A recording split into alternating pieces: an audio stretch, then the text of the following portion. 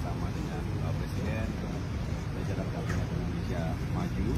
Saya tentu ingin uh, benar-benar mendengarkan apa yang akan dipaparkan menjadi tema hari ini. Tahu saya kita semua akan uh, mendorong uh, persiapan bulan Ramadan bagaimana ekonomi kita termasuk harga-harga kebutuhan pokok.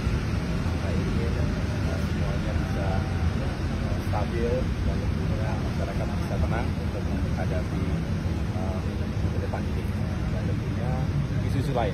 Bagi saya sendiri uh, ini menjadi uh, pengalaman yang menarik karena untuk pertama kalinya saya bisa secara utuh mendengarkan uh, masukan dan juga isu-isu yang dihadirkan dari berbagai kementerian dan lembaga. Ini menurut saya penting bagi saya untuk segera cepat menyesuaikan diri apa yang tengah atau telah dijalankan oleh pemerintah selama ini dari berbagai aspek, tentu yang terkait dengan ATR dan BPN juga yang menjadi uh, uh, isu yang juga tidak kalah penting ya karena berbagai proyek uh, nasional, strategis nasional termasuk juga isu-isu kerakyatan itu ada kaitannya dengan uh, Kementerian ATR dan juga BPN. Saya sendiri uh, belum lama ini bisa baru kembali dari uh, daerah, artinya kunjungan kerja ke lapangan, bisa mengetahui secara langsung apa saja yang menjadi isu di lapangan dan mudah-mudahan kami dan ATR bisa memberikan solusi bagi permasalahan warga termasuk juga untuk mendukung percepatan pembangunan termasuk juga investasi yang tengah dan terus digalakkan oleh Bapak Presiden Joko Widodo dan kita semua ingin menyukseskan 8 bulan terakhir ini uh, mudah-mudahan bisa bisa yang terbaik lah. Yang jelas Demokrat hari ini berada di pemerintahan. Kami ingin fokus mengawal pemerintahan Presiden Jokowi dan kita semua untuk uh, benar-benar bisa menuntaskan segala kebijakan dan program kerja. Jadi saya tidak uh, tertarik sekaligus juga tidak melihat ada kepentingan melakukan hak angket. Bagi kami sudah jelas bahwa pemilu 2024 ini berjalan dengan baik dan kita tahu sampai dengan kali ini terus dilakukan.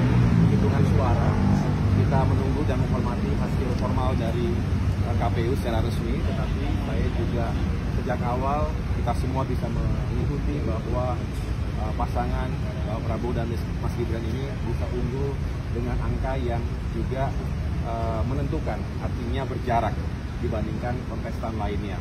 Oleh karena itu bagi kami sudah clear, tidak ada yang perlu diributkan.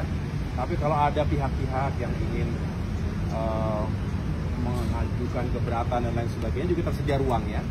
Dan ini negara demokrasi, tapi bagi kami Partai Demokrat kami ingin fokus saat ini sambil terus menunggu penghasil uh, penghitungan suara uh, uh, final begitu. Tetapi kita yang berada di, uh, di, di lembaga pemerintahan hari ini juga harus fokus pada target-target pencapaian. Saya hanya ingin fokus di sana. Pannya, panselnya Uh, siap nginap di sini kayaknya. kabarnya uh, ada udah pertemuan uh, untuk membahas kabinet hidup selanjutnya Prabowo Gibran kabarnya Oh, saya belum belum ikut diajak berbicara terkait itu, tapi yang jelas eh, pastinya Bapak Prabowo Subianto dan Mas Gibran juga di sela-sela waktu ini karena 8 bulan ini menurut saya adalah waktu yang sangat baik untuk melakukan transisi persiapan untuk eh, bukan hanya mempersiapkan soft landing tetapi juga take off kembali. Mengapa? Karena ini adalah sebuah keberlanjutan dan kita ingin eh, apa yang telah dicapai selama 10 tahun terakhir ini bisa menjadi legacy yang baik sekaligus mempersiapkan lepas landasnya pemerintahan berikutnya. Dan insya Allah Pak Prabowo dan Mas Gibran akan menjadi pemimpin yang bisa mengakomodasi berbagai kepentingan. Kita semangat dalam rekon- rekonsiliasi bangsa, kita ingin menghadirkan tim yang kuat, koalisi Indonesia Maju ingin yang kuat, tim yang kuat yang berisi ataupun diawaki oleh putra putri terbaik bangsa dari berbagai sektor, dari berbagai uh, profesi dan juga lintas generasi. Saya yakin itu dan uh, nanti kita lihat saja. Cukup ya, cukup ya. Pak Prabowo dengan Pak SBY. Silahkan. Iya. Ada buku, ada ada ada dokumen berkas-berkas. Tapi saya dari dulu sejak di tentara memang sering membawa gadgets lah, gadget-gadget yang memang untuk kerja yang diperlukan begitu. Baju olahraga.